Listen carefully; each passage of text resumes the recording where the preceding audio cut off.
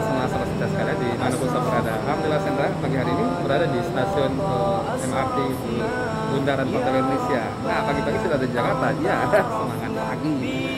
Nah semangat ya. Nah yang lagi dagang semangat dagang ya. Yang lagi uh, bisnis, yang lagi berusaha, lagi uh, belajar, ngajar, apa pun semangat hafal Quran juga semangat. Semangat Senin ini menyemangati sahabat-sahabat sekalian di awal uh, hari kerja setelah long weekend yang begitu panjang sekali.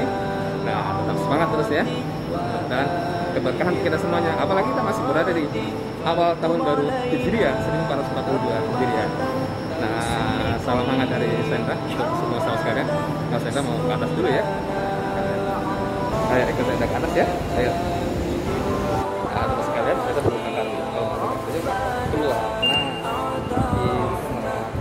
Salam kesehatan. Terus masalah, Assalamualaikum.